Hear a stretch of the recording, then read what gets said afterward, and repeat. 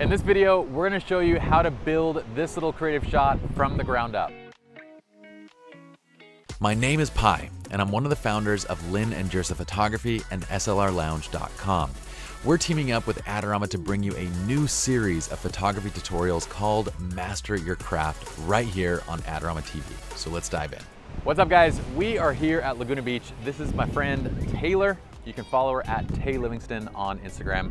Now we're gonna build a shot from the ground up. I have a 1DX Mark III, namely because I'm just playing with it, having fun. You guys don't need a $7,000 camera to do this. All you really need is just a prime lens of your choosing. I like the Sigma Art series as well as just really any camera.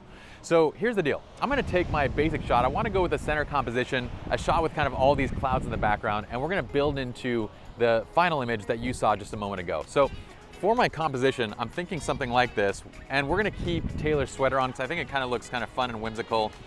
And at about 1 2000 of a second, f1.4 and ISO 100, we get a really great shot. Taylor looks fantastic, the background looks great, but what we're gonna do is just add a little more interest into it. So step two, this is a fun little kind of creative foreground element that I made, and I'm gonna show you guys how to do this kind of stuff in a separate video. But really all it is is beads that I would get at a craft store wrapped around a ring. You guys can use anything for this. It could be a plastic bottle, it could be this, it could be a bronze tube, anything to get this exact same effect. But you'll notice when I hold this over, and I bring this kind of right over Taylor right there, and I take my shot, well, we kind of lose a little bit of the, of the ring. Like we don't really see that much of it. And that's because the sun has already set. So what I'm gonna do is actually place a flash where the sun would be, and we're gonna create our own flare and kind of our own sunlight and sort of mimic it. So this is all you need. Grab whatever flash you got. I'm using here the Profoto A1X and it has a Magmod mag grip on it. All I'm gonna do is pop a CTO on top of this. I also like to keep a grid handy just in case I wanna prevent light spill. I can pop this on. If you end up not getting enough light, take it off. But this is really all we need, and I'm gonna go ahead and put this onto a Manfrotto Nano stand. Now, I'll probably have Taylor kind of, we'll probably work closer to the water, just to make sure we don't get people in our backgrounds. Really what I wanna do is place it in a position where it looks like the sun in the background, right? So I'm gonna kind of place it where the sun would be on the horizon. So we're just gonna go back here a little bit. It's still fairly bright out, so I'm gonna go ahead and keep this at full power. This is a 75 watt second flash, so a bit more powerful than a standard flash head. And I'm just gonna raise it so it looks like from my angle and position, it's kind of coming directly from where the sunlight would be. All right, so you'll notice that I actually have Taylor very close to the flash, and that's because we don't have a ton of power, right? I'm also using high-speed sync. I'm at 1 1000th right now, f1.4 and low ISO. So the flash is just not that powerful. So this is the actual shot. You can see that there's just not that much light coming through.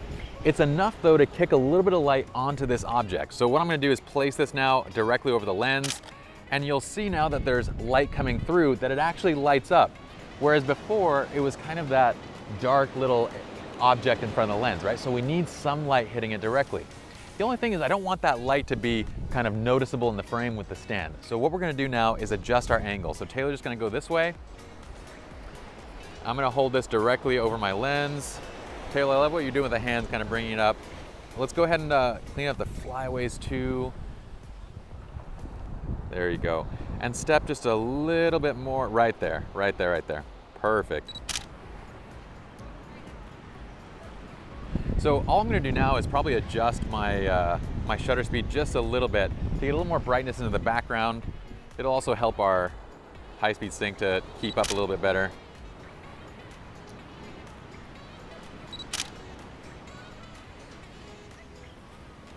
Now, I love using a 24 to a 50 millimeter for this technique, and there's two things you can use to control the effect.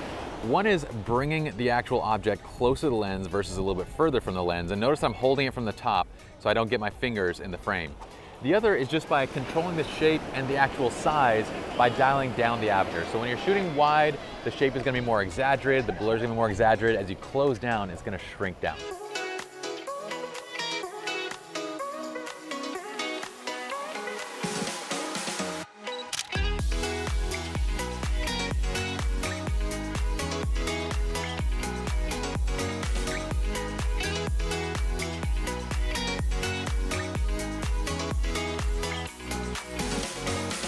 We hope you all enjoyed this technique.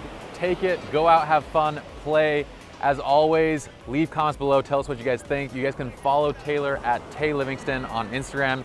You can follow me at Pye Jirsa. And again, for more of the best A to Z education on photography, business, lighting, everything, check out slrloungeworkshops.com and we'll see you guys in the next video. Bye.